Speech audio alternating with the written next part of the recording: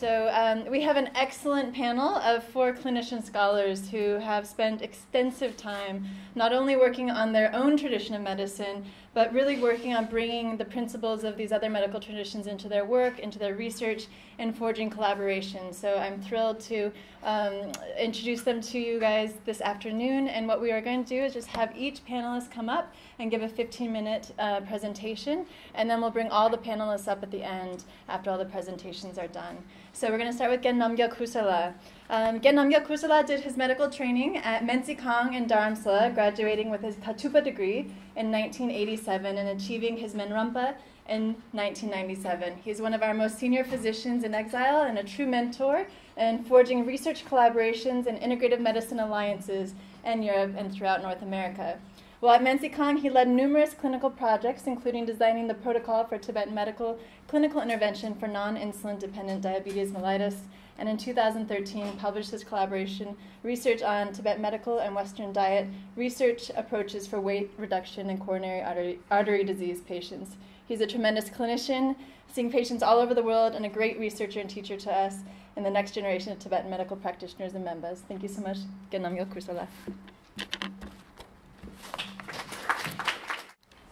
Uh, first of all, thank you, Tawni, for uh, the kind words.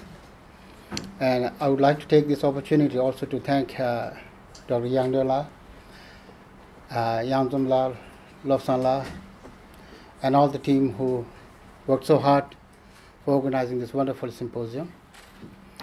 So, my topic, as you already know, is regarding our research publication that was published in the year 2013 uh, that is titled as a weight reduction in patients with coronary artery disease. That is, we compare Tibetan medicine diet and the Western diet uh, in Germany at Tübingen University. Can I just see your mic thing really quick? Is okay? The thing in your pocket. Yeah, just.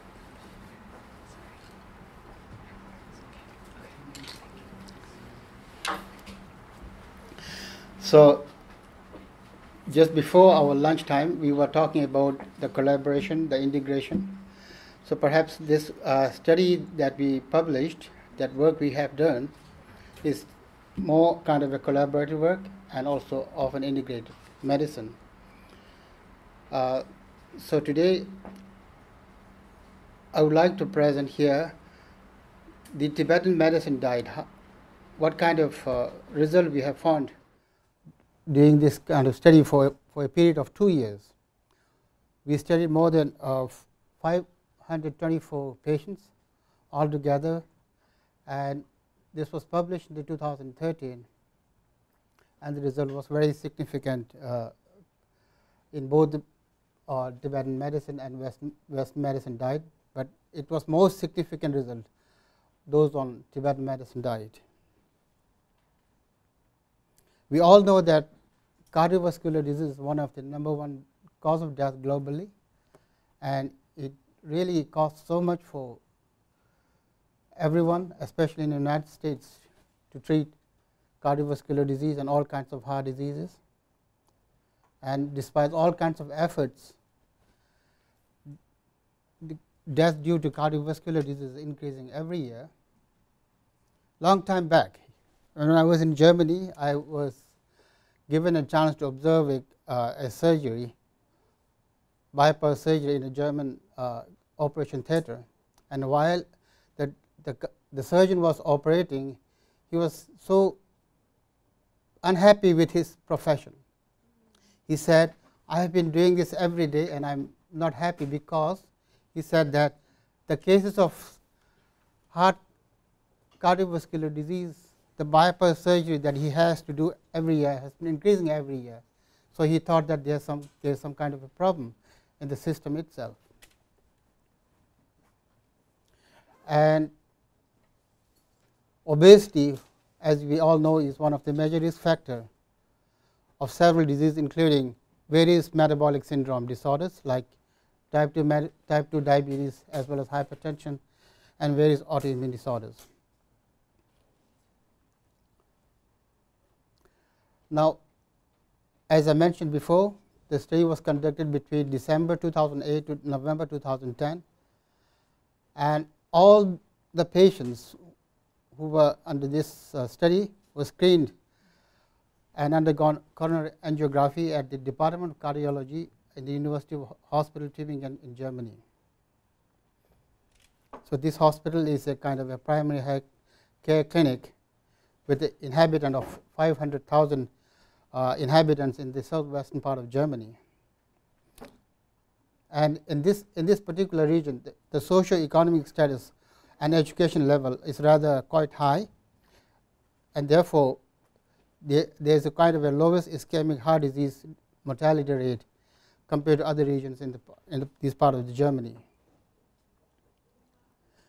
In this research method, we studied 524 subjects and it was randomized, controlled and double blinded.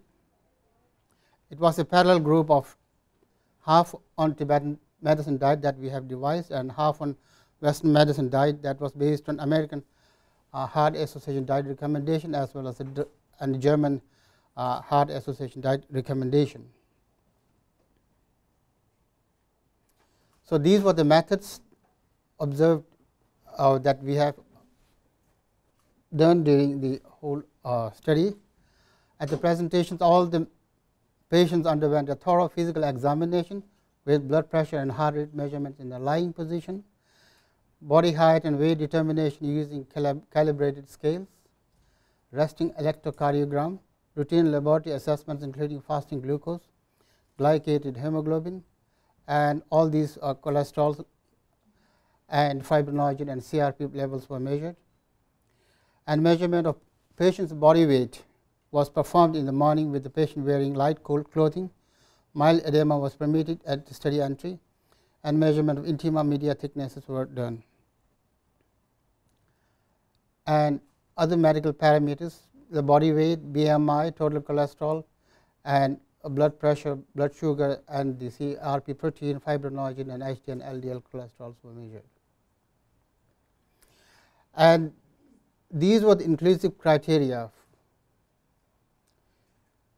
Patients were eligible to be selected under the study if they are present either for the elective coronary angiography or for suspected acute coronary artery disease.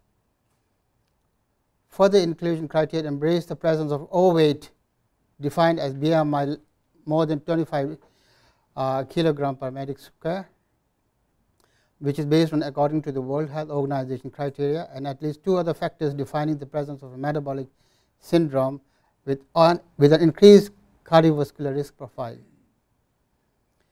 Patients had to have significant CAD as verified by coronary angiography and defined as a stenosis of more than 50 percent in at least one of the major coronary artery or the branches. And these are the additional inclusive criteria. The blood pressure must be raised, the systolic above 130 and the diastolic above 80 and the treatment of previously diagnosed hypertension. And the elevated fasting plasma glucose must be more than 100 milligram per deciliter or previously diagnosed type 2 diabetes mellitus and lipid alterations such as triglyceride 150 milligram per deciliter above, reduced high density lipoprotein cholesterol less than 40 in men and uh, less than 50 milligram per deciliter in women or specific treatment for these lipid abnormalities.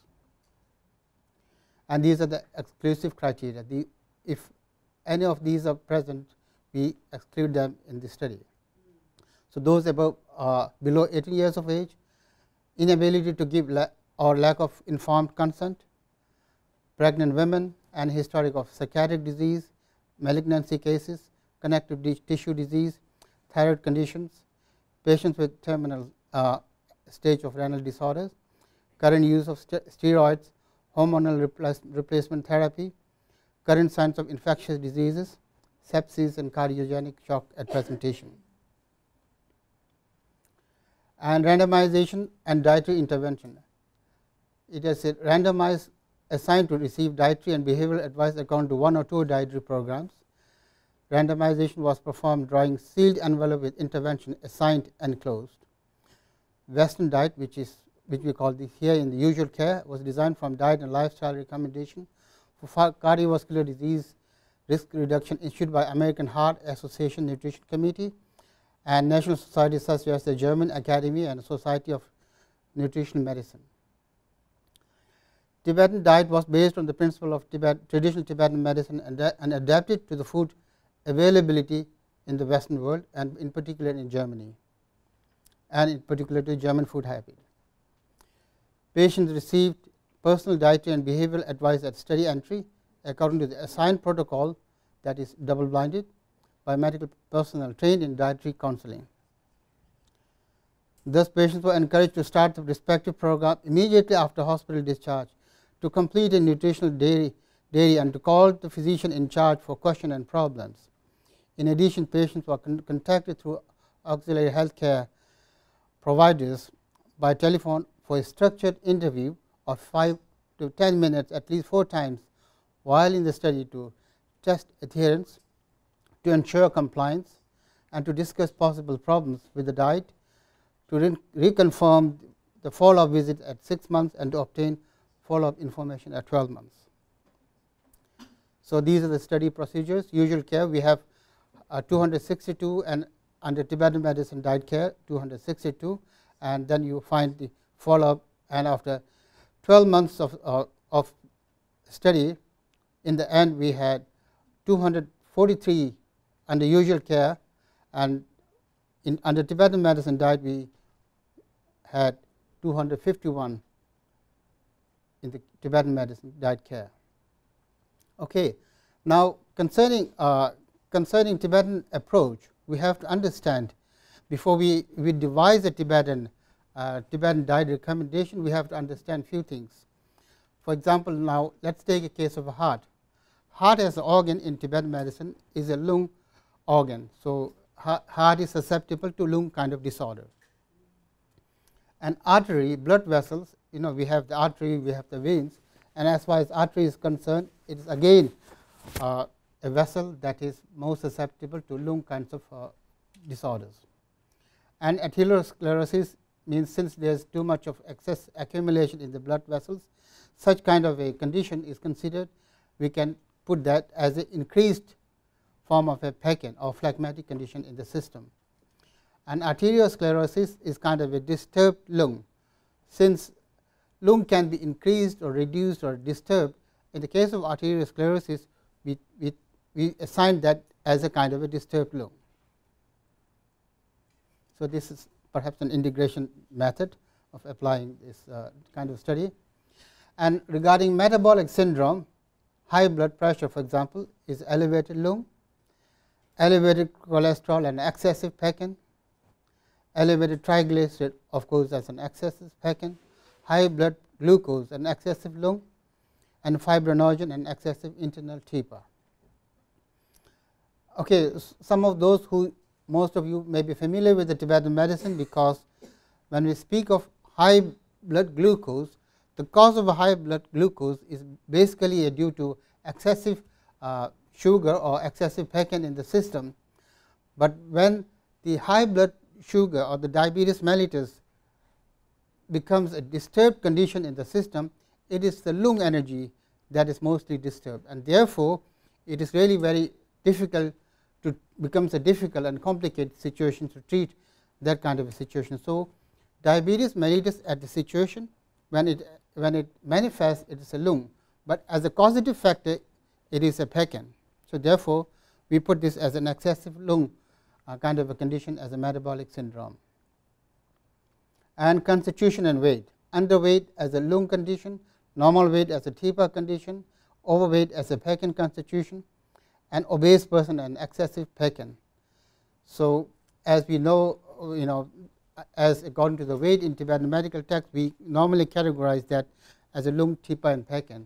So, based on that uh, what was recommended in our classical text we put that in this kind of category. Okay, now how we really have to devise a Tibetan diet approach uh, to compare and to compete with the American Medical Association diet and a, and a traditional Tibetan diet. So, therefore, we have since we have these uh, organs and these metabolic syndrome according to our Tibetan approach, we have to figure this out. We have to try to find out how to increase the fire element in the body. and improve the metabolic function that is by improving the digestive heat or the fire element or the TIPA. And therefore, try to incorporate all kinds of warm, cooked, light and easily digestible foods that is what is available in the, in the German uh, society in that particular region. And to remove extremely cold, frozen, bitter and fast and all kinds of artificial foods. So, during the study we used these food items as a recommendation according to Tibetan principle. We used most of these. I mean, we of course recommended advise patients, those on Tibetan approach, the patient or the, the subject themselves are not aware what they are taking, but these were the recommended ones. So, all seafoods except the tin foods, the cereals and spices, mostly the warm spices and among sweets only the honey was allowed and in vegetables again we have the warm and the nutritious or the, the oily qualities of of those vegetable contents and the fruits mostly like pomegranate and mango and sweet cherry, nectarine and all these kinds of fruits which are light and uh, warming and fatty acids all these olives, sesame, linseed, walnut and dairy products unskimmed milk or yogurt less than 3.5 percent fat and cheese less than 45 percent fat. And these were Tibetan diet restricted foods. So, seafood we restricted tinned seafoods and cereals, mil millet, spices, chili and curry, pork and mutton as well. Vegetables we use uh, tomato, pepper, detent, uh, detender, eggplant, white beans, cucumber as restricted vegetables, coconut, deep fried food, mayonnaise, lard, whipped cream and creamers as a dairy products, coffee, black tea, alcohol, beer, sugary as beverages and fruits, raw apples, pineapple, banana, kiwi, strawberry, currant and watermelon. These were the chief recommended as well as restricted food items and when they really need to take more uh, then they have to consult the, uh, the nutritionist for certain uh, changes in between. Now, as far as ratio recommendation is concerned, we recommended that they need to take less than 30 percent of or less than that as a cereal and 70 percent or more as a protein rich foods, vegetables, fruits and others. So, that is recommended ratio according to Tibetan diet approach. In order to preserve, promote digestive heat, warm up the system, improve the circulation and to look after all these uh, heart and other conditions. So, these are the results.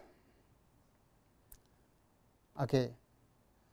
As you perhaps know that Tibetan medicine in our Gyushi, it is recommended that we need to reduce weight for cases like heart disease, cancer and all kinds of circulatory disorders and diseases like uh, autoimmune disorders. So, as, as here you will find that those in the Tibetan diet after 6 months and 12 months has reduced quite tremendously as compared to usual care.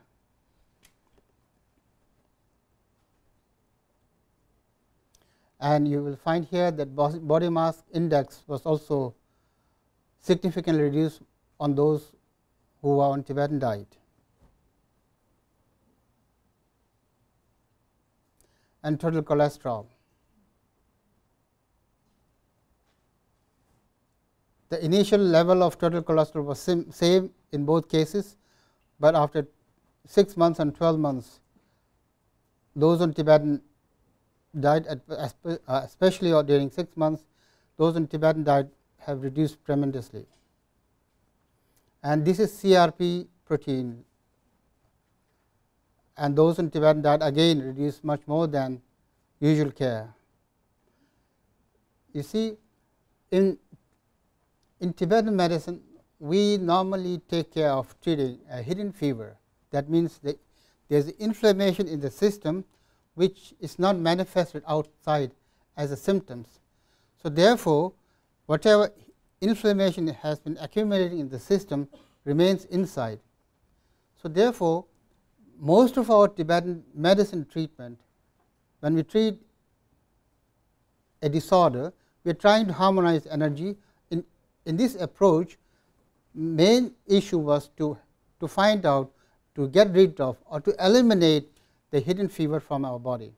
So, therefore, as we already know that CRP, the raised CRP level seems to be connected with the hidden fever. So, therefore, our diet recommendation somehow has worked uh, in 6 months level that the diet Tibetan diet has reduced significantly the CRP protein level compared to the usual care. And it is also case here with the fibrinogen.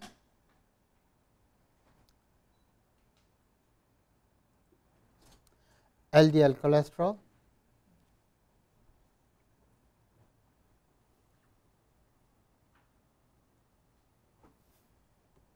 So, here is the conclusion.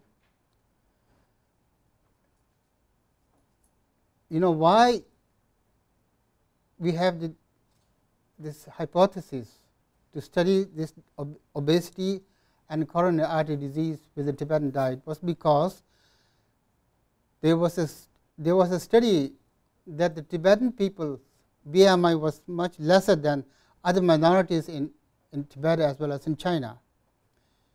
So, therefore, we, we had to find out that there may be something in a Tibetan diet that has contributed to the less BMI level in the Tibetan population, Tibetan ethnic groups. So, to find out that Tibetan medicine approach should must be applied. So, we applied that and when we applied that, we found out that Tibetan diet has much more effect than normal usual care diet recommendation. So, in conclusion, this kind of a Tibetan protocol has of course reduced weight and BMI significantly with the patients with CAD and metabolic syndrome after 6 months.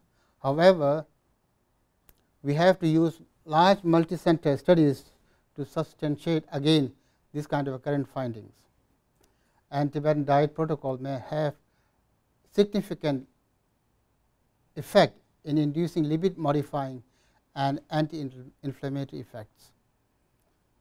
So, thank you so much for your attention. Wonderful. Thank you again, Namgyal Kusala.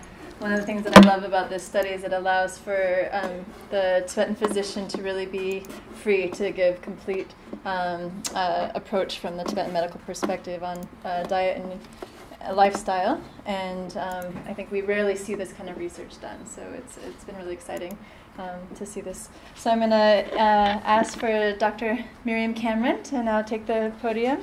She is the lead faculty of the Yoga and Tibetan Medicine Focus Area and graduate faculty of the Earl Bakken Center for Spirituality and Healing at University of Minnesota. She did her BS and MS in nursing, MA in philosophy and bioethics, and PhD in nursing and philo- philosophy of bioethics at the University of Minnesota. She has more degrees than most people that I know. Um, she's done nine years of funded postdoctoral st- study in nursing and cross cultural ethics at the University of Minnesota, Georgetown University, University of Illinois Chicago, University of Wisconsin Madison, and the Midwest Bioethics Center. So I met Mim first of all when I was a first year medical student at Men-Tsee-Khang in Dharamsala. She's been leading a decade of programs with University of Minnesota healthcare practitioners coming to, to Men-Tsee-Khang doing exchanges where she's been teaching a semester long course on Tibetan medicine um, with Dr. Tenzin Namdul for part of that.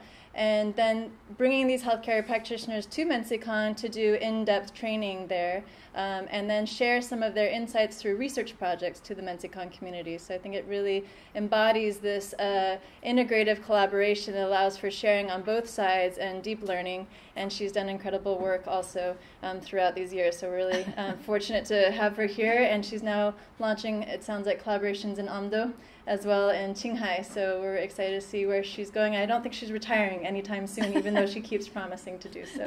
So thank you so much for being thank here. You. And thank she's you. just in press, hot off the press, uh, hopefully in um, press. in press. Um, a, a, a, book on Tibetan medicine's ability to inform self care and uh, bringing these Tibet medical principles into healthcare practitioners' lives. So we're excited to see that soon. And thank you so much, Dr. Cameron. Thank you. Thank you.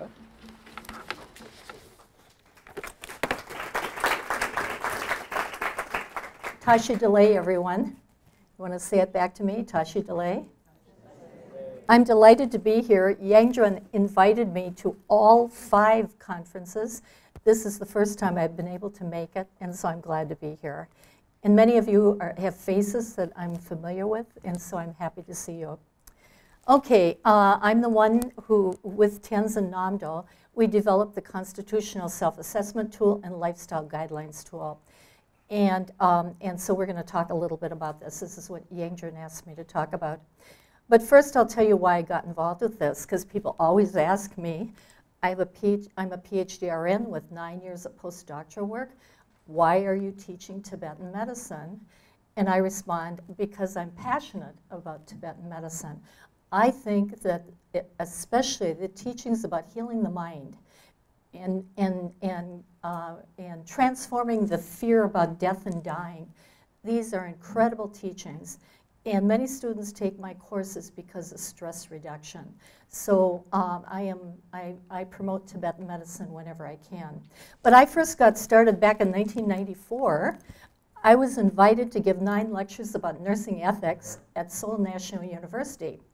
And I read a little bit about Tibetan, or excuse me, Korean traditional medicine. And then my husband was with me, and we took a tour of China and I took a tour of Japan. And it turned out our tour director in China was Tibetan. And we just loved him. And I called him Karma because uh, uh, it was an easy name. We weren't familiar with Tibetan names at the time.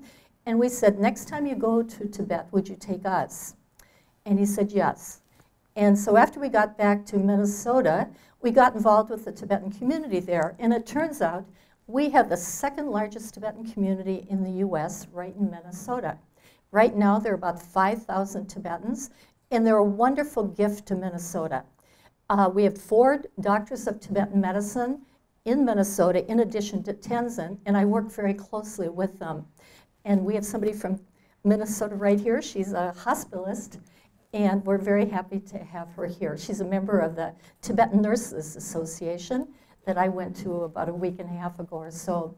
But anyway, uh, then uh, Mike and I went to Tibet with uh, the person we called Karma in 1997. And I had my first consultation at the Men-Tsee-Khang, and it was amazing what those doctors told me about myself. But what really changed, transformed my life was we climbed a mountain to a poor nunnery uh, east of Lhasa, and I met a little Tibetan nun. She couldn't speak English, and I couldn't speak Tibetan. But five minutes in her presence changed my life. It was absolutely incredible. And I just felt like any negativity in me just was washed away. So now when I give lectures to medical students and doctors and nurses, I say, even five minutes in the presence, in your presence, can change somebody's life. It's about the energy you have much more than even what you do, because that was my experience. So then, um, so that was in 1997, and I came back vowing to somehow include Tibetan medicine in, in my work. So in, in, by that time, I was a faculty member at the University of Minnesota, and uh, in 2001, my husband and I went to the Men-Tsee-Khang in Dharamsala for the first time. And I set up a formal relationship with them. And then at that time, Tenzin agreed to be, he was a faculty member there, and he agreed to be my contact person. So Tenzin and I have worked very closely together all these years. He speaks and reads fluent Tibetan, and I speak and read fluent English. Although I read Tibetan books like the Gyushi, I'm very familiar with the Gyushi because the Men-Tsee-Khang has translated it, all four tantras now, into English. And it's an amazing book to read. It's one of the great books of, of uh, the world, I think. Okay, so I want to talk to you about uh, how we came about developing the constitutional self-assessment tool.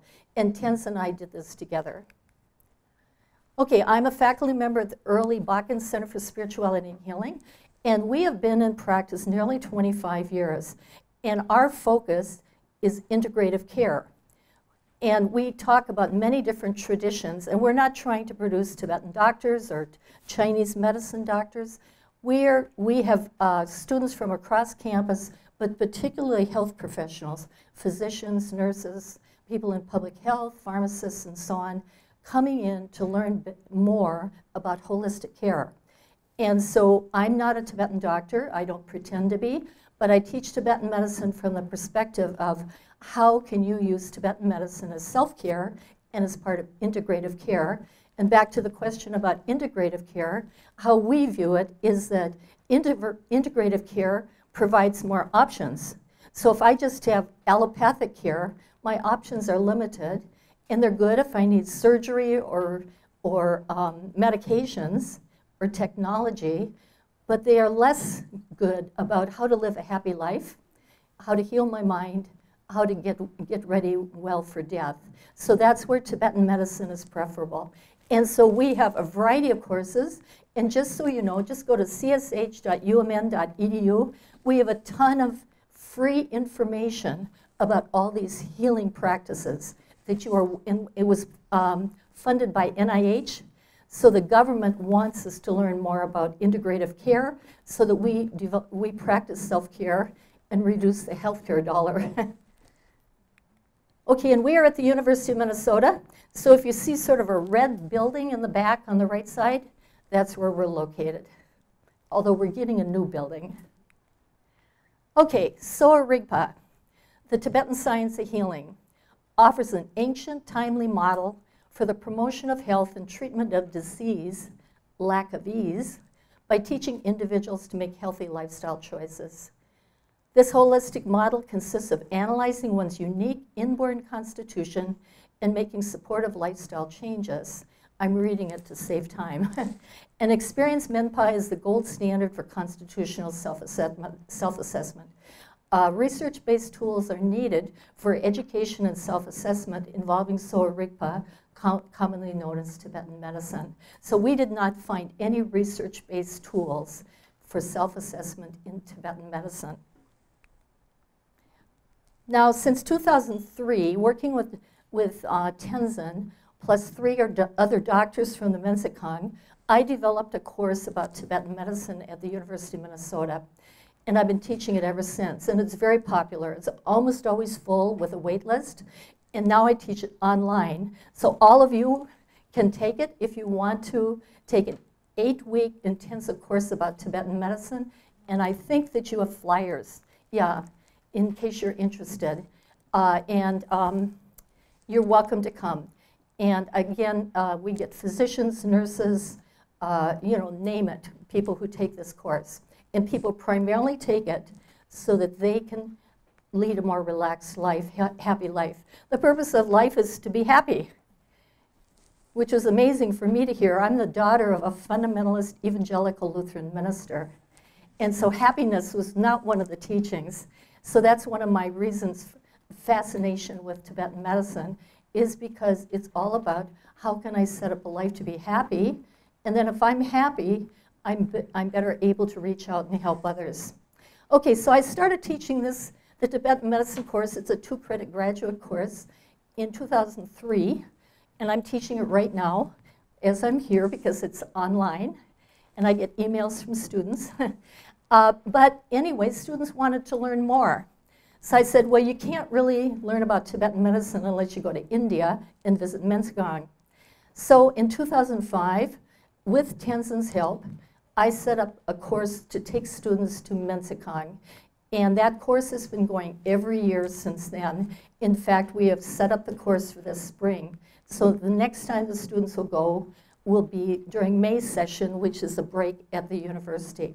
And again, many physicians and nurses have gone to Men-Tsee-Khang. About a thousand students so far have taken the Tibetan medicine course, and I'd say about 200 have taken the India course. Uh, and so it's made quite an inroad in Minnesota. Uh, and so the students wanted to know how to understand their constitution. And because we, there are many tools out there, but we couldn't find one we liked. So Tenzin and I created the constitutional self-assessment tool. And then we gave it to the students, and they said, oh, okay, now I know my constitution better, but so what? What do I do about that? So we created the Lifestyle Guidelines tool. Okay, the CSAT and LGT are based on the Gyushi. Again, I read the Gyushi in English. Tenzin read it in Tibetan, and then we talked.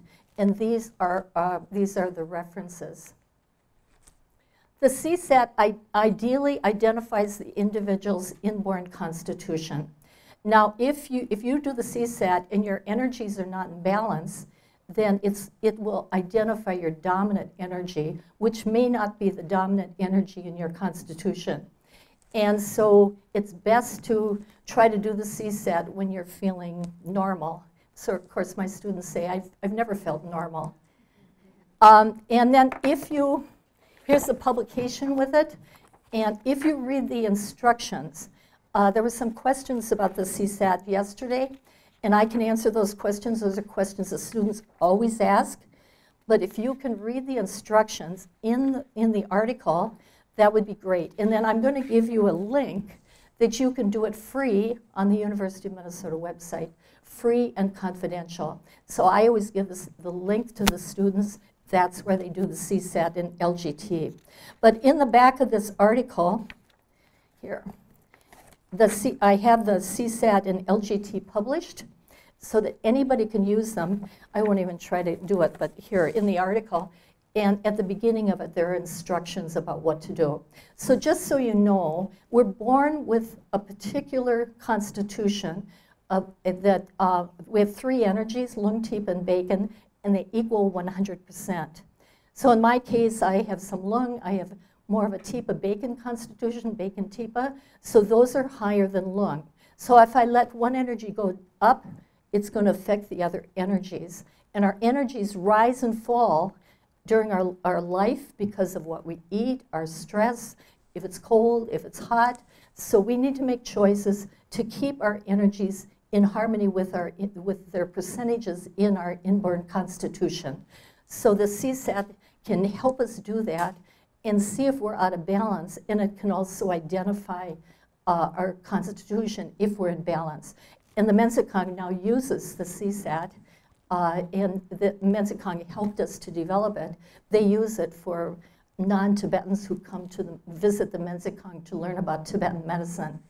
Then in the lifestyle guidelines tool, you use the column of your dominant energy, even if it's not the dominant energy in your constitution. If it's the dominant energy in your CSAT result, then use that. And the lung column will calm lung, lung.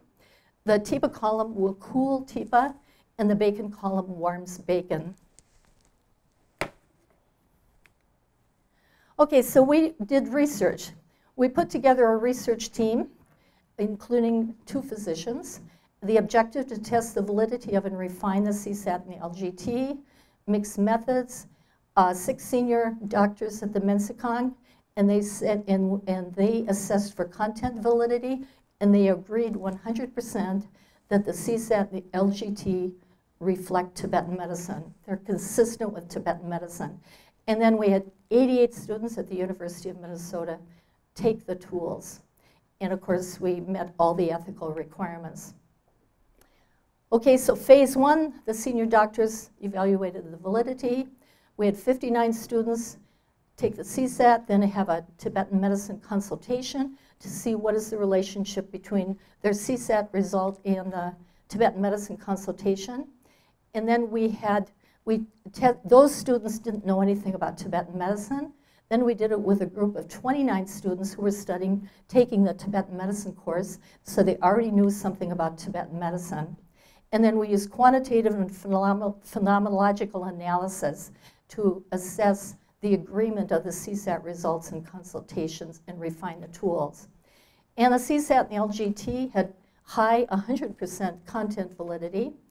And what we found is that the CSAT had 76% agreement a 0.50 kappa statistic, meaning moderate criterion validity, and I'll explain that. And we concluded that the refined CSAT and the LGT demonstrate the potential for additional research and use in self-care. Now we learned that this is the way to increase the CSAT result. If you learn about Tibetan medicine before you take it, you'll know better how to respond to the items. Keep, keep, uh, complete the CSAT when you're feeling like yourself. Complete the CSAT in a quiet, reflect, reflective setting with no time restrictions. And the research shows that uh, most of us are not good at doing self-assessment because we don't know ourselves well enough. So we need to consult with someone who knows as well, like with a parent, a partner, uh, and so on. And then we, uh, many of our students were so stressed out, they thought they had a lung constitution, and in fact, their lung was too high. And so I think it's very easy with a stressful life in the, in the US to over-report lung and complete the CSAT not to get an A, but who you really are, not the person you wish you were. And then finally, um, I have some resources. So if you want to do this online, and I don't know if this link works, and we could go into it. We have a very nice website. How could I do that? I don't know. Anyway, that's the link, and it goes into a very nice web page where all the instructions are and the items. You can do the CSAT, the LGT right there. And there's the publication. And then um, it, how we use it in the Tibetan medicine course, but I use it for many different things. Each student completes the CSAT, uses the CSAT result to complete the lifestyle guidelines tool, and then creates a personal plan for living in harmony with his or her own constitution. So the CSAT LGT course websites uh, Tibetan Medicine Practicum, required reading, and consultation with an experienced Menpa help students to use Sowa Rigpa as self-care and an integrative care. Here are more resources. I book, wrote a book about going to Tibet, Karma and Happiness, and that's a required textbook for the Tibetan medicine course. I just published the first uh, literature in, in nursing literature. This is in a book that goes all over the world. It's the first uh, literature about Sowa Rigpa in nursing. And so I'm quite excited about that. And, um, and then the book that Tenzin and I just wrote. And I just uh, sent the files to the publishing company last Friday. so that's exciting. And then here is some online free uh, material that you can read this, Cameron, Namdul, and Swenson free, free, uh, read that before you do the CSAT, and you'll do better. You'll, you'll uh, do a more accurate CSAT. And then here's the, uh, the Gyushi again. Um, here's a Tibetan medical dietary book. That one has a very good assessment tool, but it hasn't been validated. We use that. And then finally, we use the Men-Tsee-Khang book, Fundamentals of Tibetan Medicine. But it's very difficult for students to understand that book, so that's why I have them use my book, Karma and Happiness. Then they understand better. Then they can go in and understand fundamentals better. Okay, why study Sowa Rigpa? Here's what one student wrote in her evaluation. And this pretty much represents what all the students write. I'll let you read it.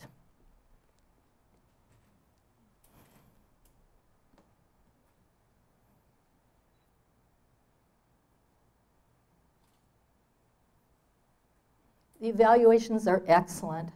The students are very grateful. And this is an elective.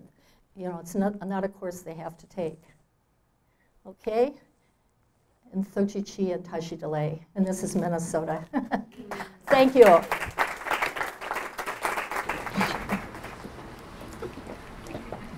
Thank you very much, Dr. Cameron. It's been wonderful to see how many healthcare practitioners have come to Men-Tsee-Khang over the years. And and stayed, never went home. Um, they've been coming back again and again over the years. It's been really wonderful work. Um, next, I'd like to introduce Dr. Tam Nguyen. Um, Tam, uh, Dr. Nguyen did her medical training at Heidelberg University in Germany, and she's been working as an internal medicine doctor for six years in Switzerland. She's board certified as an internist, and the last two years she's been working with a private medical group called Medbase, allowing her to introduce Sowa diagnostics and therapeutics in our outpatient groups um, that have various specialties, but primarily specialize in primary care and sports medicine. She met Dr. Nida in 2009 when he was teaching in Germany, and they co-founded the Sorig Khang International together, the first officially recognized NGO in Germany, I believe, um, throughout Europe. So they have now 70 branches all over the world. I think they're just missing Antarctica. And we're looking forward to hearing her work and clinical perspectives, a case report on using and implementing Tibetan medicine in her practice as a Western medical doctor um, in a very rare experience. So, welcome, Dr. Nguyen.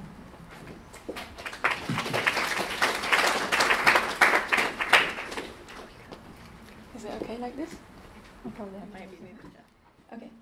Thank you very much for this opportunity to talk here. Um, so I came all the way from Switzerland um, to here just to um, talk about my experiences.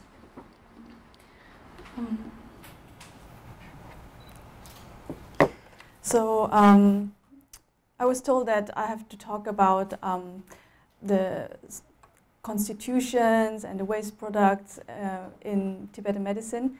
So um, I, I didn't actually include this directly as such in my uh, daily practice.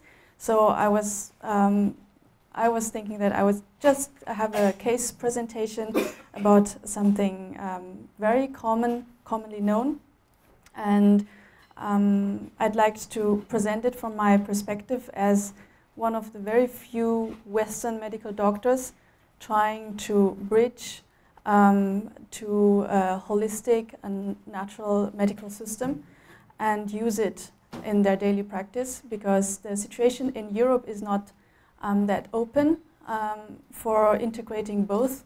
There's a constant fight between naturopath or natural practitioners and Western medical doctors. And um, I had this great opportunity and chance from my employer that I was basically free to do whatever I wanted.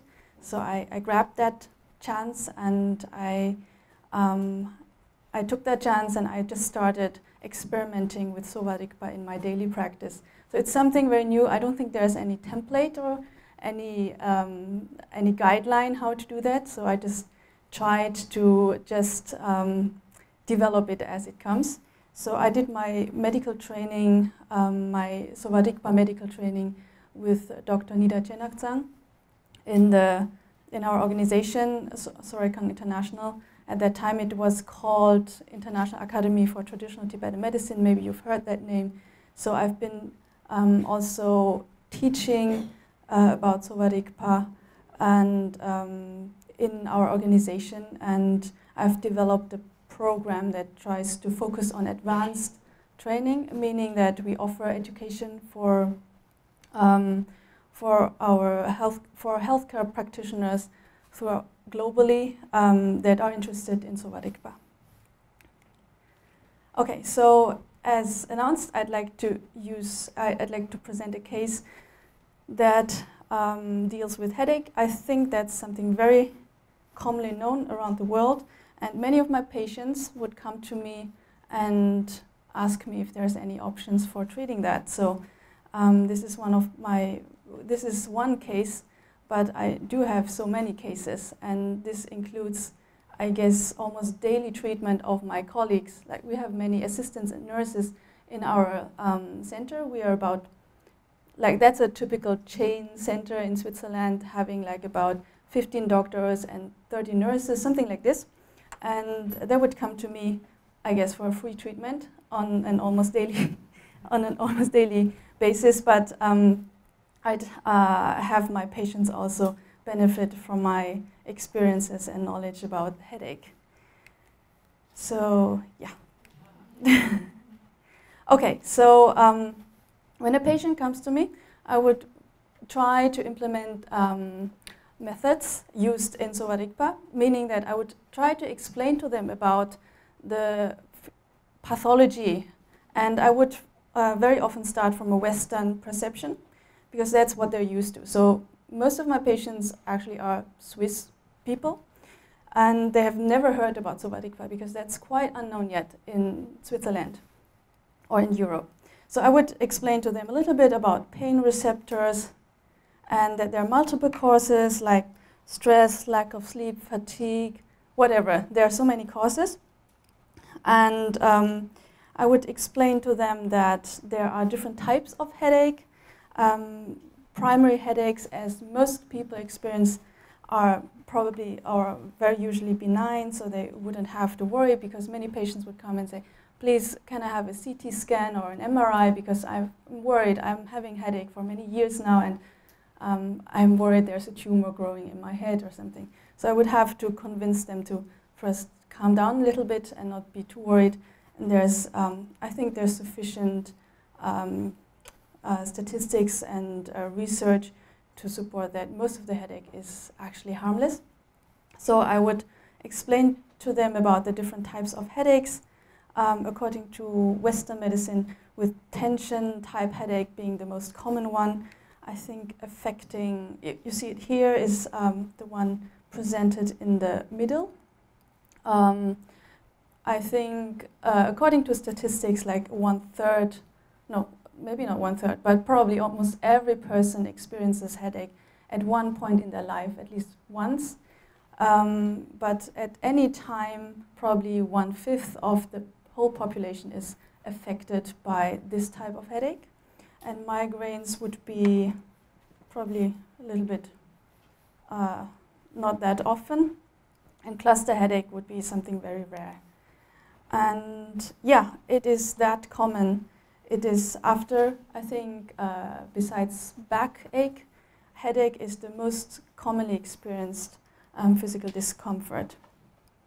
So yeah, and then there's the part about the treatment. Usual treatment, as my Swiss patients know, is just about pain medication. They can go to a pharmacy and get the medication without doctor's prescription, usually.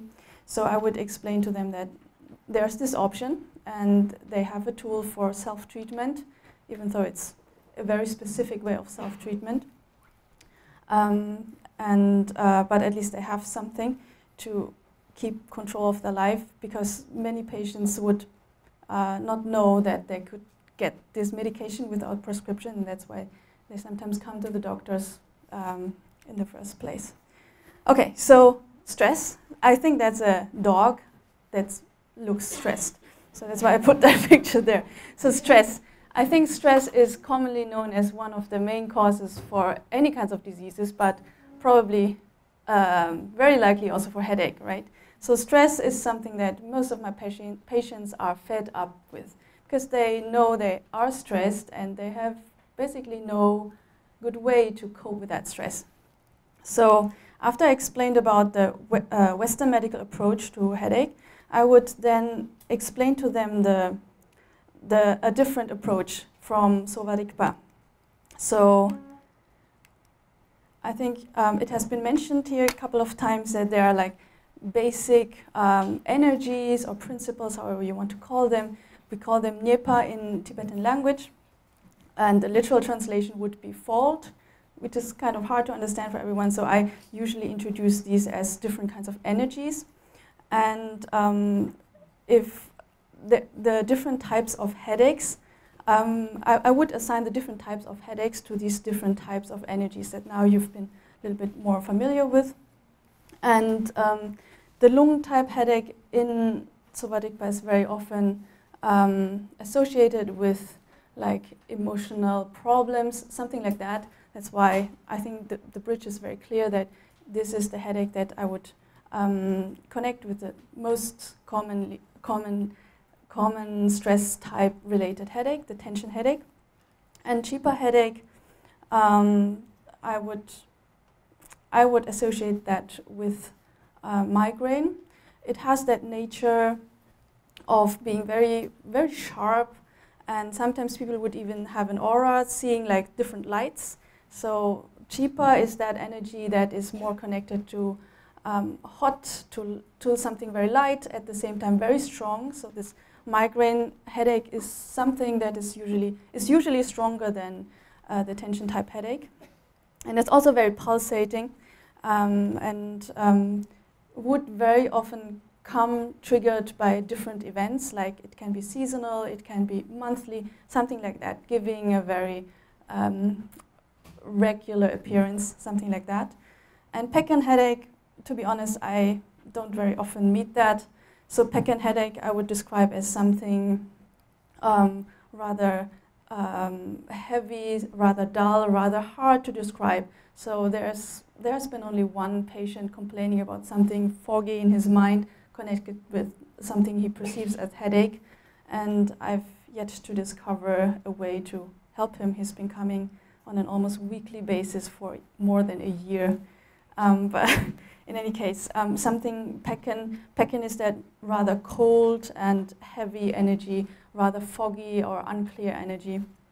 Um, and that's, uh, I guess it's rather rare.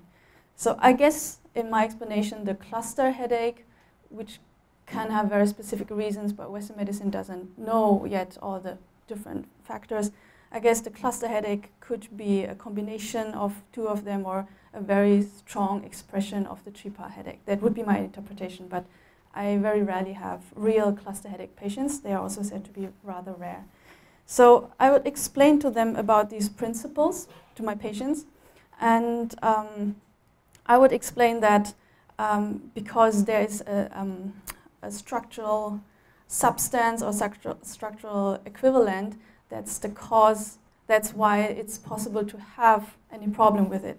So saying something like, if you don't have a head, you wouldn't have headache. So explaining it like this, patients are much more happy to accept that lung energy, which is inherent in every person's constitution, as we heard before, is the cause of uh, or can contribute to having this lung type headache or tension headache. And um, so, and this lung energy, literal translation would be motion. Most people translate it as wind energy or wind. So this motion is a principle that's like basic to life, right? Our whole universe um, is moving. Every atom is moving. Every mole molecule is moving. And um, so with this explanation, I can also explain that there's emotional movement or emotional waves, something like this. And with, that, with this explanation, my patients would easier accept that stress is something that you can actually perceive in a different way, can, and you can work with it, um, coming from the perspective of Sowa Rigpa. So I'd like to explain a little bit about this lung energy um, especially for those who don't know so much about Sowa Rigpa. So this lung energy is the main principle in Sowa Rigpa. Oh, just having.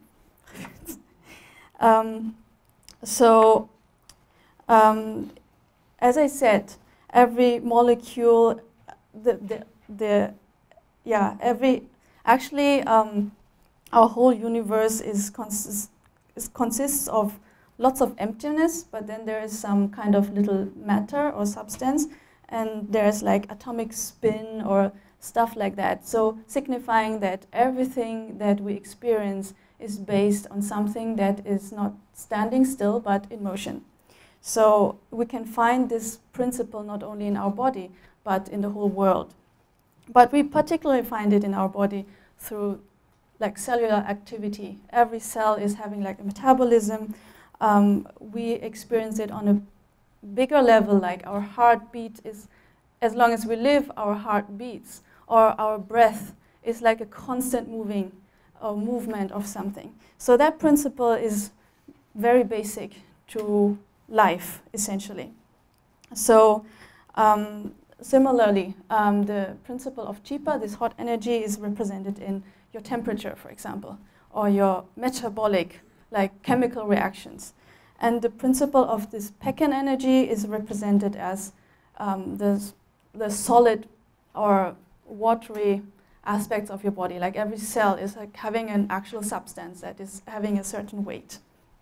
So, um, so this energy um, is having like this, uh, this energy of lung is having this inherent nature of motion and um, in old times, I guess, um, there wasn't any way to measure it, so people would just talk about energies, like it's the life force here. I'm using Iron Man here because it's very clear he's having like a lung type energy battery in his, uh, instead of his heart.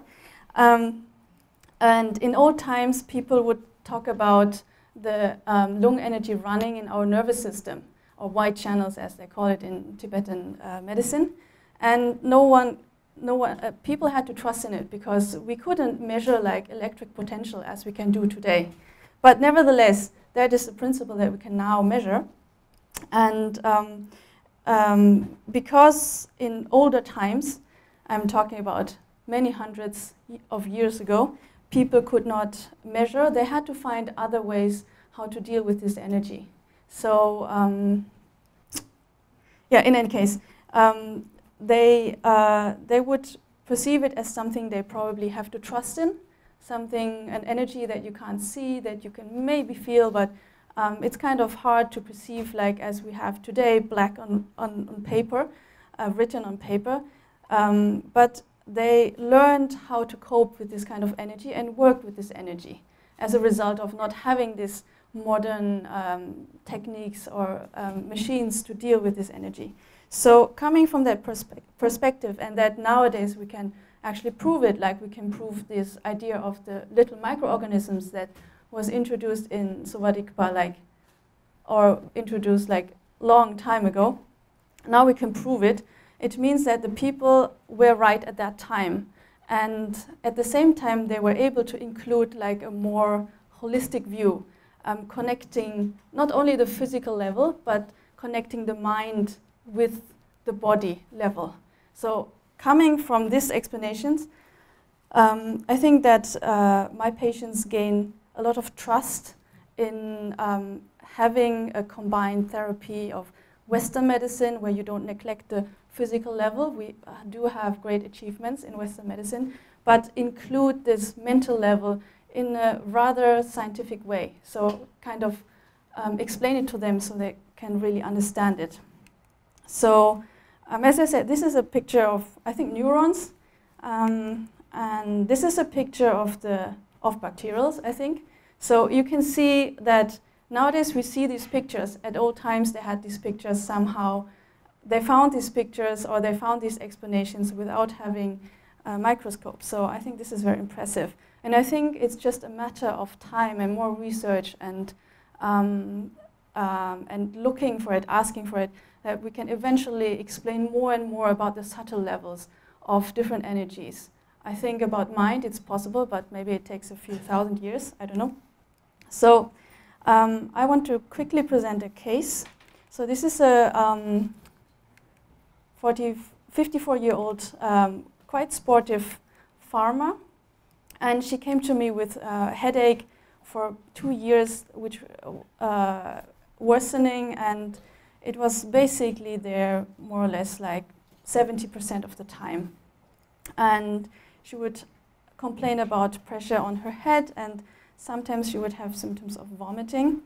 She had lower back pain, pain and anxiety attacks. So I think that um, you can already have this association with the, like some kind of mental level stress. Um, and she was using already lots of medication prescribed by doctors. Actually, she was referred to me by one of my colleagues. And she was using different kind of painkillers, basically the whole range of painkillers that is available. And most of them do require prescription from doctors. Um, and since there was no significant effect for the past two years, she was kind of giving up. But yeah, she gave it a try because there's nothing she could lose, right? Oh, what did I do here? Oh, okay, okay. I don't know what I did. okay, so um, I checked more about her diet and lifestyle to get an idea about what the causes could be according to Sowa Rigpa. So she had a pretty good healthy diet. She looked like physically really fit and she would do regular um, sport, exercises. She was married, she didn't want to have children. Um, that's just an MRI picture of her spine, which is, in my view, not so much connected to that. And from Tibetan medicine point of view, she just had like painful points on her head. Um, basically, where the, um, the, the lower part where you see number 21, that was the area where she had most of the pain. And if I would press there, she would complain about that pain. And okay, so I started that treatment. Um, I gave her all of these explanations about Sowa Rigpa. I tried to, from that draw, to um, advices about lifestyle and stress.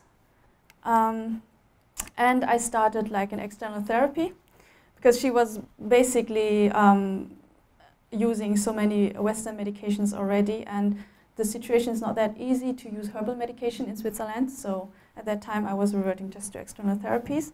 And I chose something very easy to do, just 20 minutes sessions over the course of, I think, seven weeks, and just once per week on specific points. And okay, so the first three weeks, it was kind of discouraging because nothing happened. But then uh, at week after week number four, she explained to me that the duration of the headache had reduced significantly from five days per each time to just one day. So that's kind of really measurable, tangible. And after one more week, um, she noticed that the intensity of the headache had reduced by 50%, which is quite good. And after two more weeks of this um, simple treatment, she would say that it's the first time she wouldn't have any headache, um, yeah, for the past two years. And uh, coincidentally, I think I used some cupping, additional cupping on her um, neck and lower back. She also um, she also uh, reported that the lower back pain, pain has improved somehow. And um, we could, okay, I, I think I didn't mention it here, but uh, we could reduce her use of this tramadol. It's like a um, opioid used in Switzerland by 50%. She was on a heavy medication on that. So that was quite significant. And she wouldn't use any of the other medication anymore. So um, I, I, mentioned like four different types of painkillers, of which three of them weren't used anymore, and um, the strongest one of them was reduced by half. So that's quite a good result for this very simple kind of treatment. And it was amazing for me to see that despite the fact that you had been treated by chemicals that could potentially, you know, change your whole body, it was still, it was still uh, possible to affect this case quite rapidly. I actually made, uh, met this patient one year later. Okay. And um, um, she uh, reported to me that she had to go to harvest, and that was the reason why we interrupted our seven weeks, uh, why we finished after seven weeks, because my original plan was to at least do 10 weeks of treatment.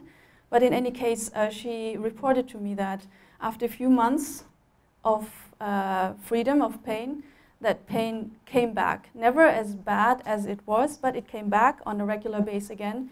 And she was thinking about coming back to me to uh, restart the treatment. Unfortunately, that was very recent, and I was going on a journey now for a trip, and so I couldn't schedule any meeting with her, any consultation. But in any case, what she mainly took from all of that was a lots of lots of advices about how to deal with the stress. So I don't, I don't really think that this acupuncture was the main thing that really helped her. I think it was the whole combination of um, explaining uh, different aspects according to Western medicine, according to Sowa Rigpa, and combining different kinds of um, approaches with her. And especially the stress management, which is so hard to approach, uh, is probably something that helped her and had a positive effect for a few months after, uh, to come after the treatment. So thank you very much for your attention. Thank you, Dr. Nguyen, and it's really exciting to see in Switzerland, uh, in private medical practice at least, the ability to bring in so many good principles, so it's wonderful. Um, so I'm going to go ahead and move on to our last speaker because we're running a little bit short on time. Um, so Dr. Eve Henry grew up on the East Coast and completed her undergraduate uh, education at Princeton University and her medical training at Vanderbilt. She then came here to Stanford in 2013 for her residency in internal, medicine, uh, in internal medicine, and she hasn't left since, sounds like, since she's now the concierge physician at Encina Practice and also the integrative consultant for Palo Alto Medical Foundation. She's clearly demonstrated her passion for understanding alternative medical systems and therapies.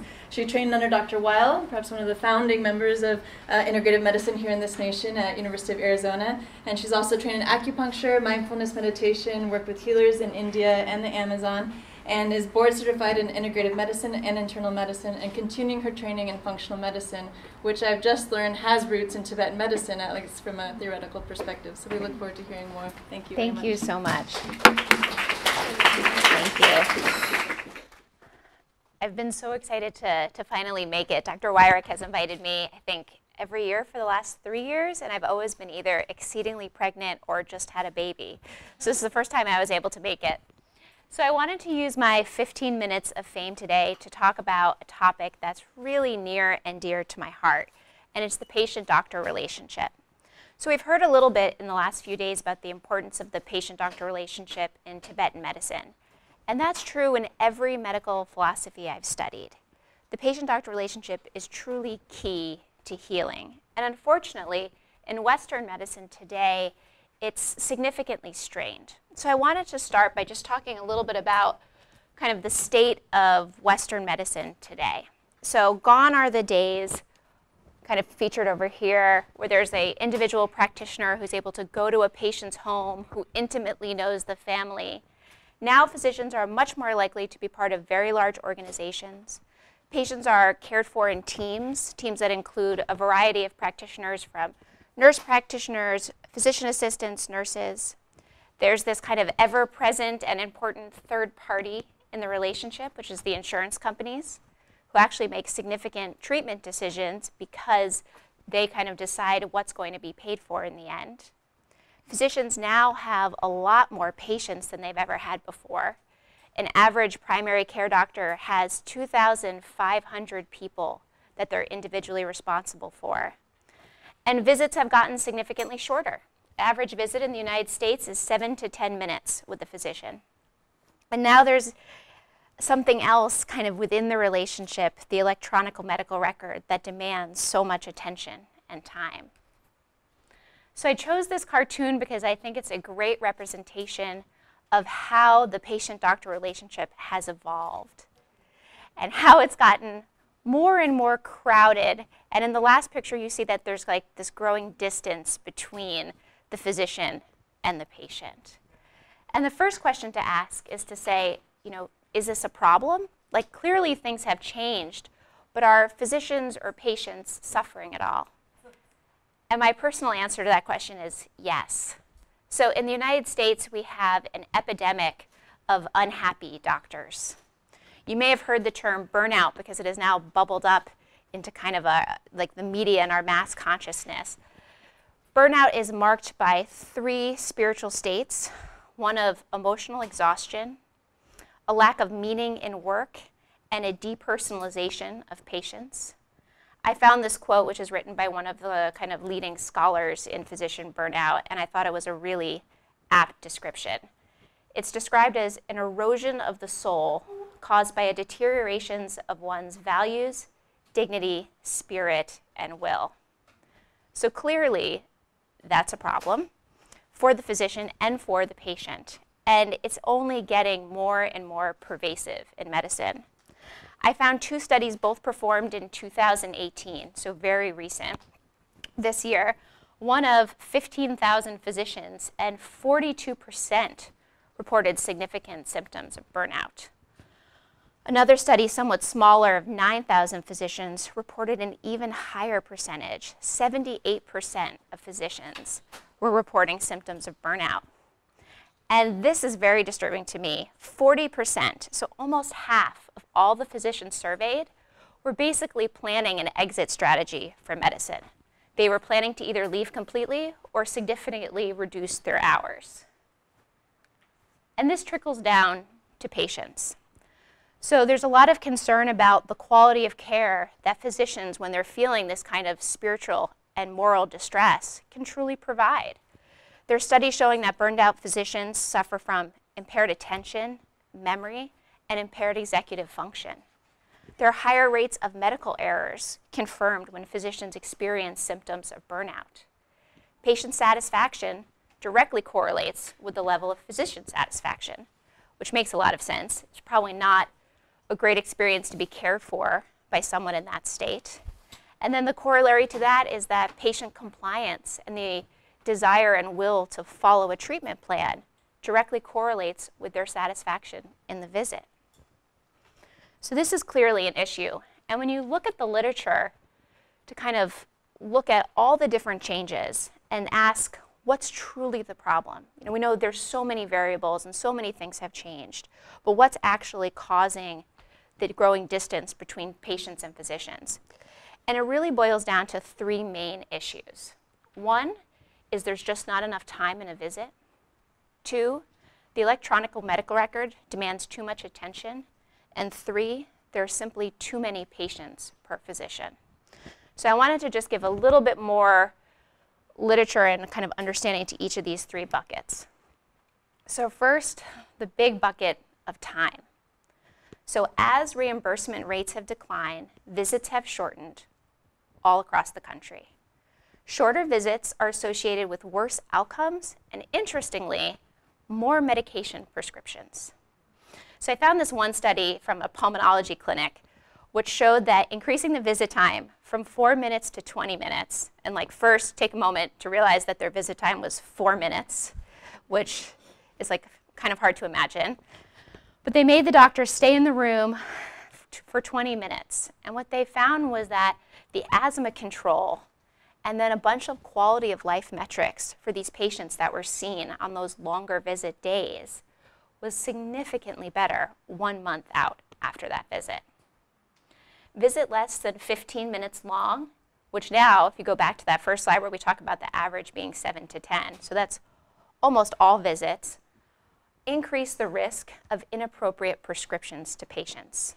These are prescriptions that are potentially dangerous for the patient because they may conflict with an allergy, another medication, a whole host of issues.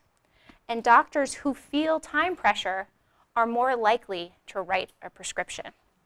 So there are many instances in which you can educate the patient, teach them how to change something where a prescription may not be necessary, but if you only have six minutes, it's simply faster to hand out a piece of paper than it is to talk and educate. To the electronic medical record. Although I do believe it was built with the best intentions in mind, it is now a huge burden on kind of the average physician. So I found two studies which just demonstrate the vast amount of time that is spent logging in data into computers. And the second one I think is the most demonstrative, which is for primary care physicians who work a little over 11 hours a day, roughly six of those hours are spent purely on data entry.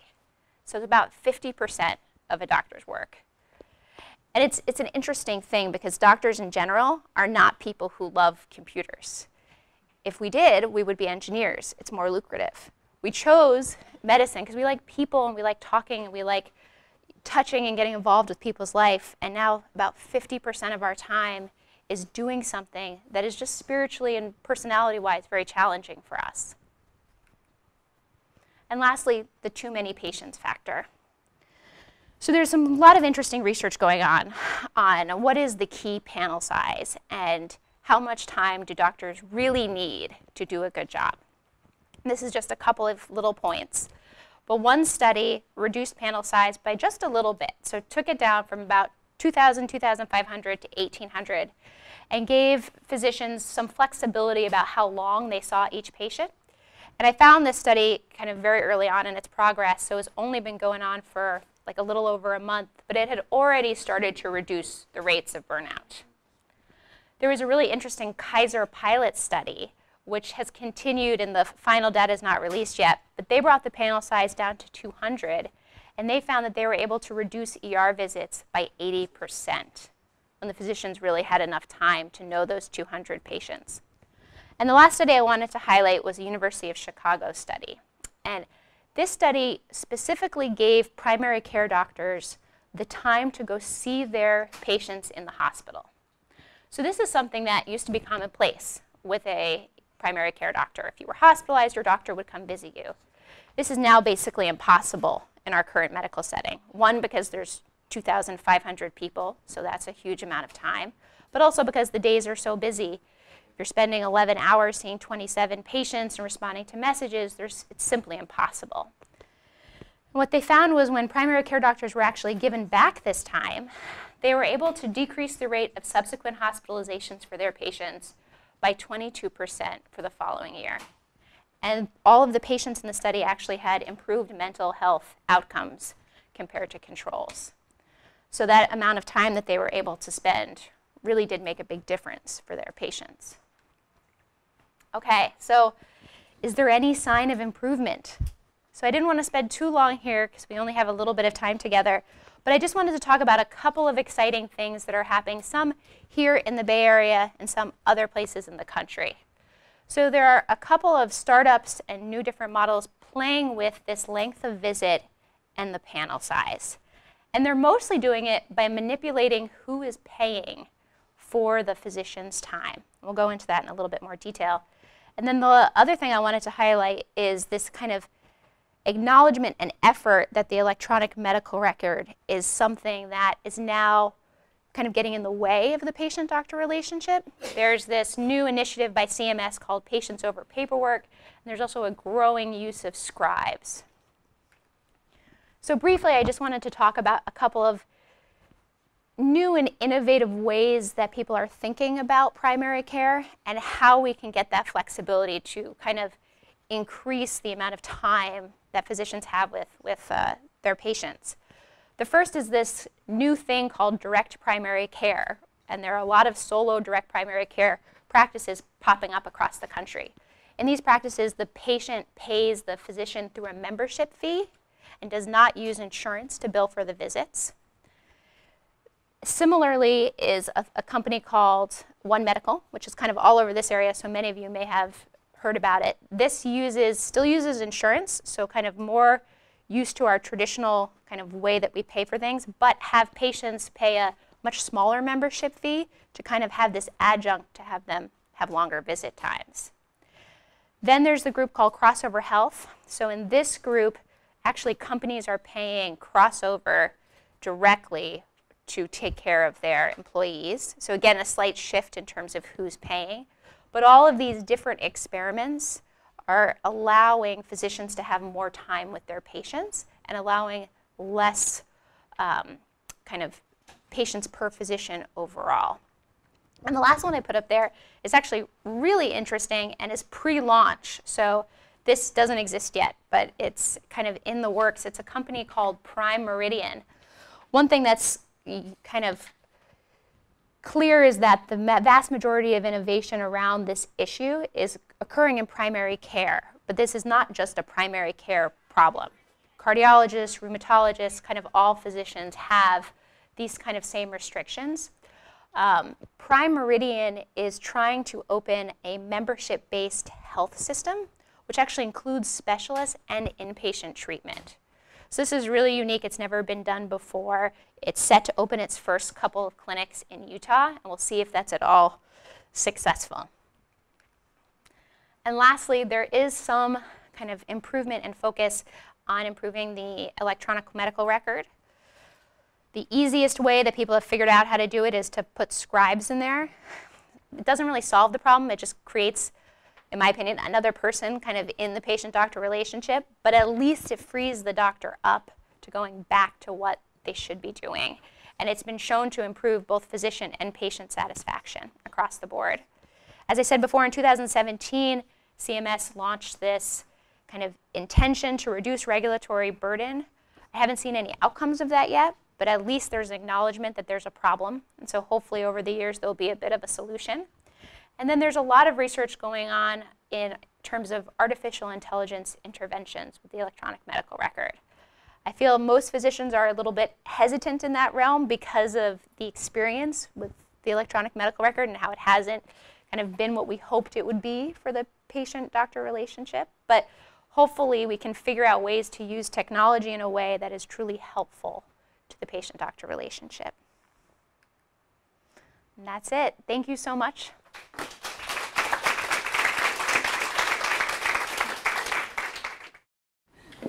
So first of all, I just want to say thank you to each of you. Excellent presentations and really exciting to see all of your work in uh, bridging both the clinical and research spaces.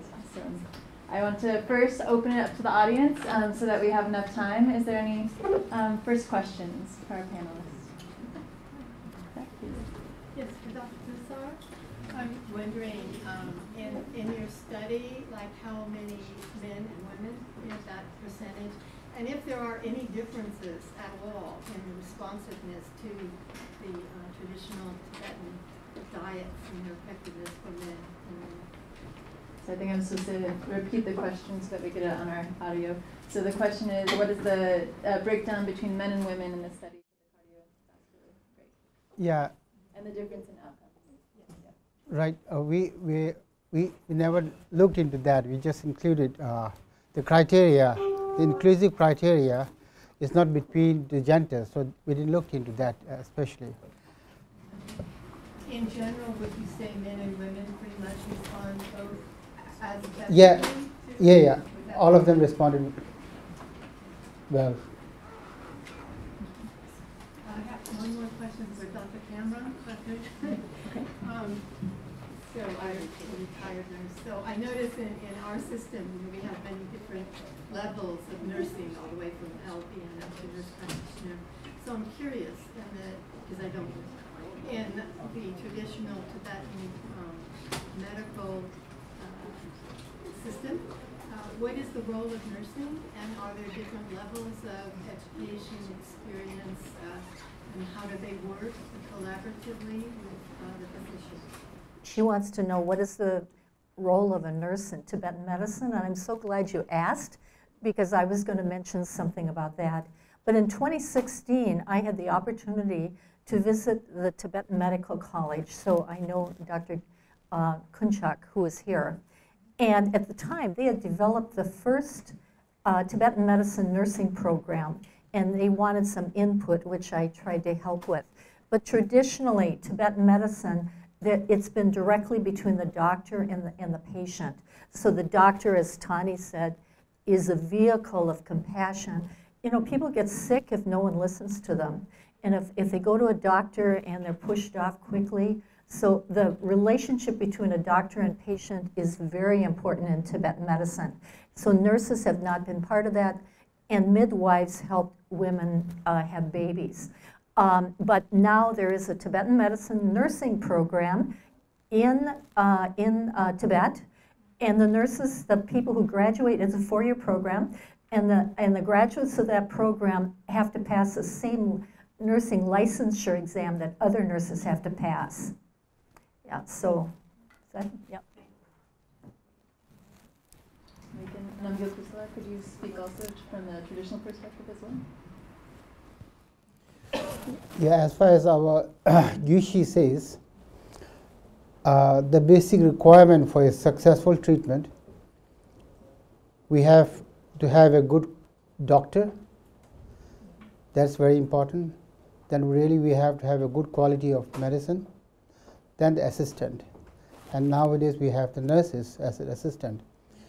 And the, the quality of nurses is again important over here. The nurses must be again intelligent, compassionate, and must be very careful about the hygienic conditions. So these are the basic requirements of a nurses or assistant, whoever he, uh, is helping the patient, you know, whether it's a family member or the friends or in a family setup as nurses. Let me say one more thing, is we talked about integrative care. In Dharamsala, uh, there, there's Delek Hospital, which is a Western type facility that has medical doctors and nurses. W- which just has doctors, they work very closely together. For example, on TB. And so the uh, patient with TB would go to the uh, Delek Hospital for antibiotics, you know, any kind of tests. But then at the same time, uh, the person would be seen by a Tibetan doctor, a doctor of Tibetan medicine, and, uh, and for en- enhancing the immune system, for uh, you know building up the person, uh, uh, dealing with side effects, and so they've been doing that together. And when I went to uh, Xining, to the Tibetan Med- Medical College, they told us about many examples of that. So the Tibetan doctors then do work with nurses, like in a Western facility. Can I say something? Um, I just want to explain how we're doing it in Switzerland. Maybe it's an approach that can be applied in other places as well. So, in my absence, I've been away from my job basically for two months now, and I have over the course of months, instructed many of the assistants and nurses at my place, and they are currently now um, dealing with my patients. So it's, it's a quite new model that they approach in Switzerland. Um, it's like having the nurses being educated and trained as kind of assistants to doctors and being able to cover for doctors for specific areas. So all my external therapies that I've been doing with my various patients are now being covered by the nurses in my clinic.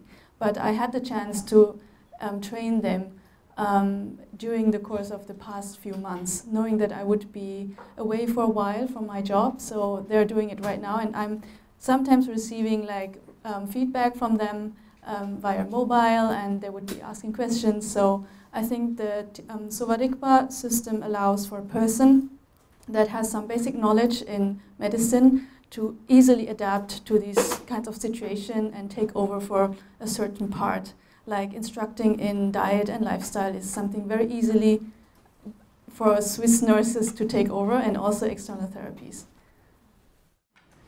Yeah, in Xining, they really play a primary role in all the departments, so they're doing a lot of the accessory therapies, um, integrally involved in a lot of patient care.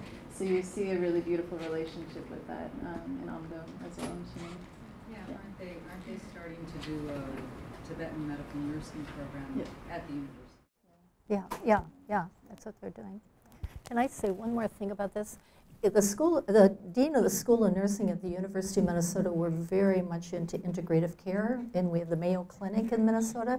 So we've been into this line of thinking for quite a while.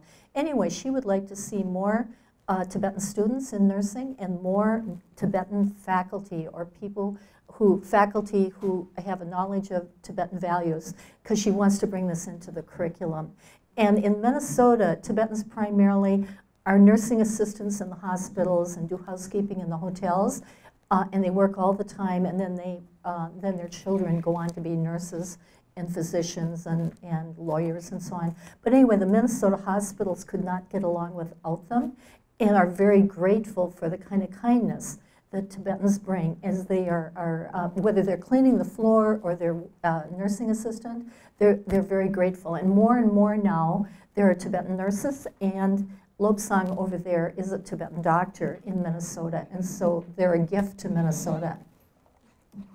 I have a question just to follow up to Dr. Henry. So, on the integrative medical perspective, what is the role of nursing in that integrative medicine model?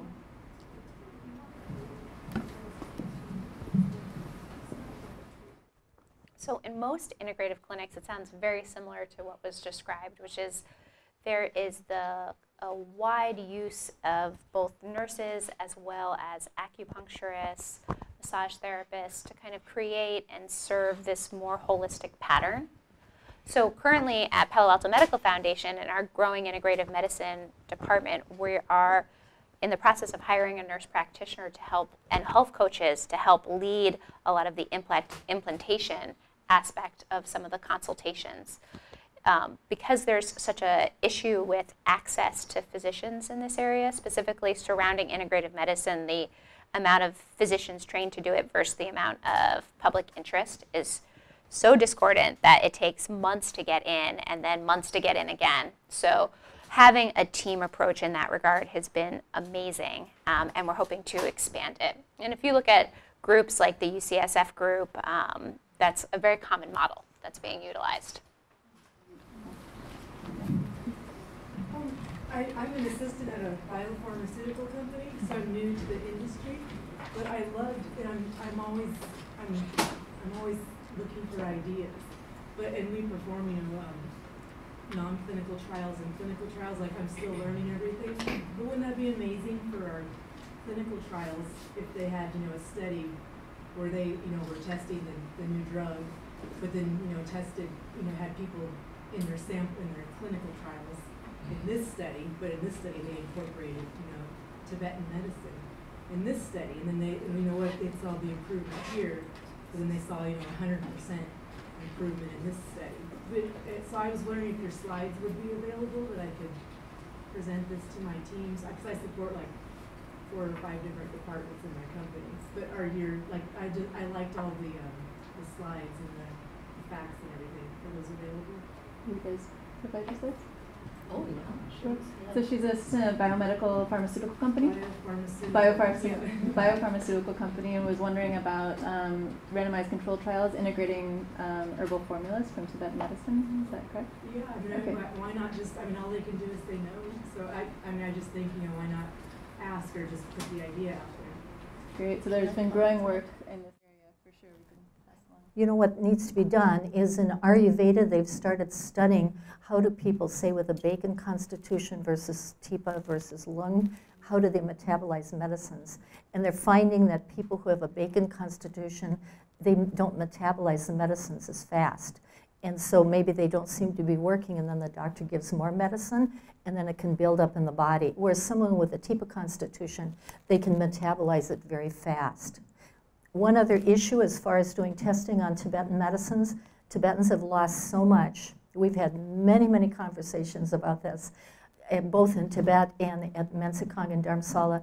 Tibetans have lost so much, and pharmaceutical companies would like to get the recipes for the Tibetan medicines and, and then not pay the Tibetans for these medicines. So they are working hard to hold on to these medicines. And a complication is that many Tibetan medicines have up to like even 100 ingredients. And so to test each ingredient, you know, it's not like, say, testing turmeric and then saying, okay, this is the uh, result. How do you test something with that many ingredients? And finally, herbs are not the same. Tibetan medicines primarily are made of herbs. They're not like uh, chemicals because they one herb may be, even though it's the same herb, it may be different because of where it's grown or what the environment is or whatever compared to another one. And so the, that's hard to test also. Those are variables. So, uh, there are two Tibetan herbal formulas uh, recognized in Switzerland as a Western drug. One is Sindhu 5, pomegranate 5, and one is the camphor 28. So those two medicines, if you search in Switzerland, they are known as a Western drug, but they are produced by Padma company. So I, I think uh, one aspect which is good because Tibetan uh, pharmacies uh, proved by the scientific study and research, and actually this Tibetan formula is the first time in the entire European history, pharmaceutical history, that recognized the, the herbal formula as a drug. So I'm just going to repeat so they can hear on the recording. So Dr. Nida is saying about the Padma, which is a Swiss company that um, was using formulas that were um, brought in from a Buryatia family that had a, a, medical lineage. And so they used those formulas and have been doing extensive research um, on those with Hadassah Medical Center in Israel. And so two formulas particularly have been recognized in Europe and are now sold extensively all over Europe, and Switzerland's been leading the charge on that. Um, and so the Cedar 5 and then Gapernyake, yeah. Um, so Camphor 28 as well. So you can see a lot of that literature, and we're happy to share that with, uh, with symposium attendees as well. But there's some great growing literature, but part of the issue that they've been looking at is we need to bring in network pharmacology and systems biology to look at the complexity of these formulas. So if you would be interested in working with that, that'd be great. Any other questions? We need to thank our panelists and thank you so much for the